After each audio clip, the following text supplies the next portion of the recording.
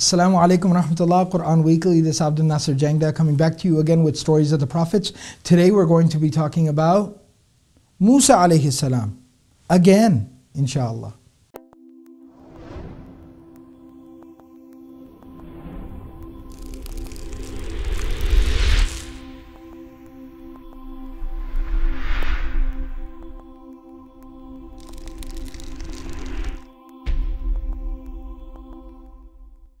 Musa alayhi salam, Allah subhanahu wa ta'ala tells us that when he was a young man, he had a very traumatic incident, a very unfortunate incident that occurred.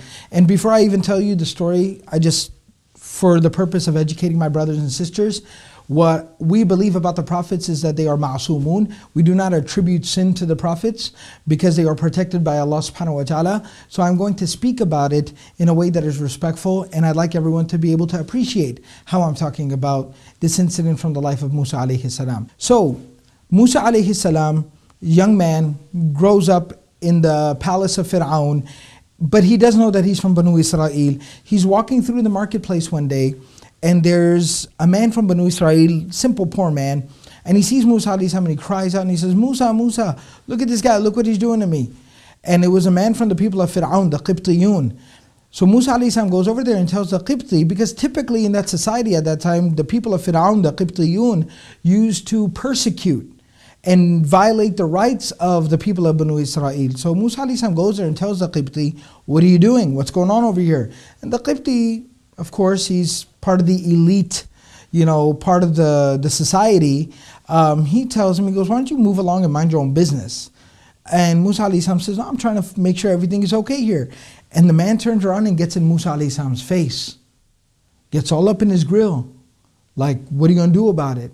So Musa salam, to kind of defend himself, he pushes the man, he strikes the man, shoves him off of him, not realizing it is his own strength or maybe just to, due to you know, an unfortunate circumstance, the man ends up dying.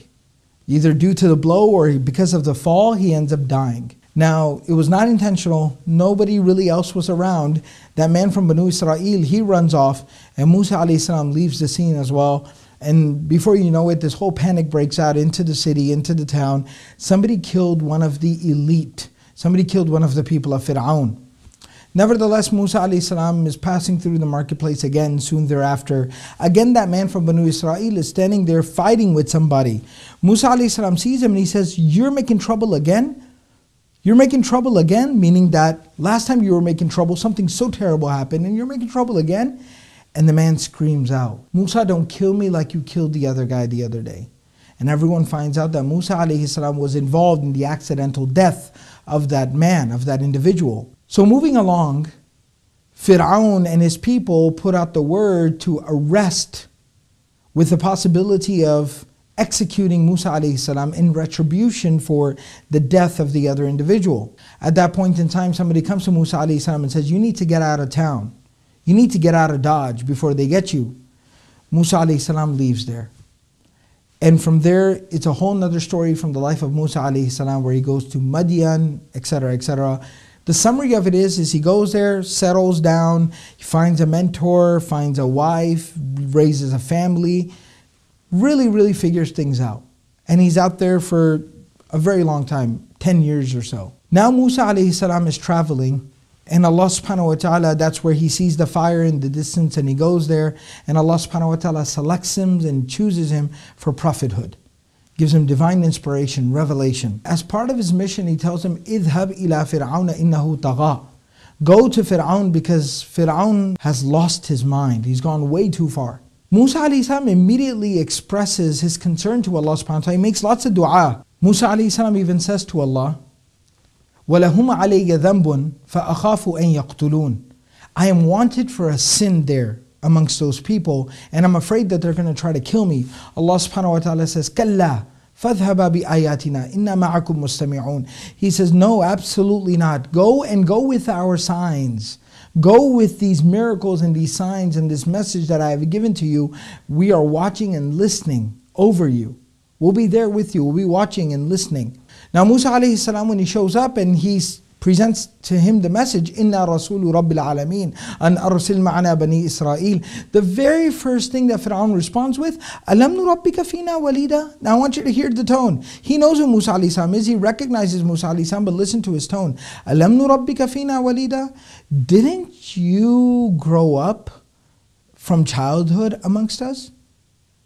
ألم نربك فينا وليدا ولبثت فينا من عمرك سنين and you lived for many many years amongst us وفعلت فعلتك التي فعلت وأنت من الكافرين Even if you can hear it in the Arabic وفعلت فعلتك التي فعلت وأنت من الكافرين and you did what you did back when you did it and you were a bad person you can tell right off the bat Fir'aun is not being honest, he's not being sincere, he's being facetious, he's being sarcastic, he's mocking Musa alayhi salam. He immediately brings up his past and talks about his past. Musa alayhi salam of course owns up to it. قال فعلتها إذن I did do it back then. إذن وأنا من الضالين But I didn't I didn't do it intentionally and I didn't do it knowing what I know now. Now this is where I'd like to pretty much pause. And this is a story I wanted to share. See, everything Allah tells us in the Quran is profound. It's got a purpose, it's got a meaning, it's got a reason to it. Why did Allah subhanahu wa ta'ala share with us the incident about the man dying from the youth of Musa alayhi salam? Because Allah subhanahu wa ta'ala then shared with us the fact that when Musa alayhi salam comes back to preach to Fir'aun, the very first thing that Fir'aun brings up, hangs over his head, rubs in his face, talks about in front of people, is what happened previously in his life, in his past. And Allah subhanahu wa ta'ala told us about this because this is going to be something that is going to occur time and time and time again with people. Everyone's got a past. And we're going to have a lot of people who later on in life are going to come into the masjid, come into the community, and they're going to have a past. How are we going to deal with them?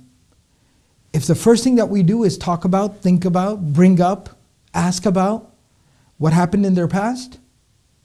The mistakes that they made?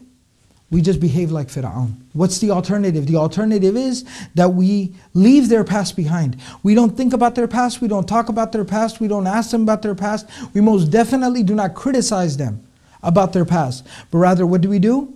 We embrace them, we love them, and we accept them for who they are right now, right here today. And who, who is that the example of? That is the example of Muhammadur Rasulullah sallallahu alaihi wasallam. The Prophet sallallahu embraced people. He accepted people. He did not judge people. Let their past be their past. The story of Wahshi, no matter what he's done, caused such pain to the Prophet ﷺ, assassinated his uncle.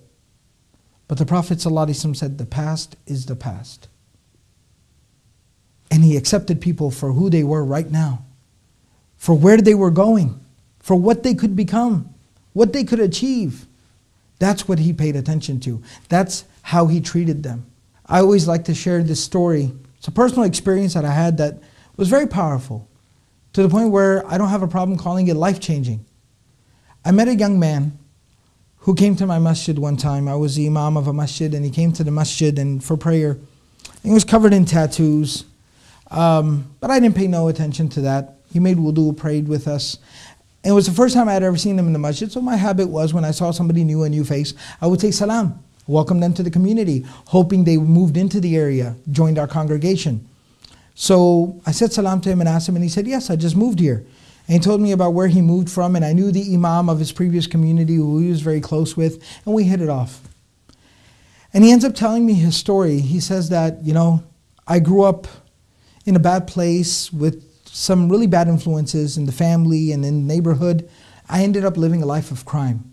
Dropped out of high school, on the streets, drugs, gangs, violence, all that unfortunate, you know, uh, all those unfortunate situations.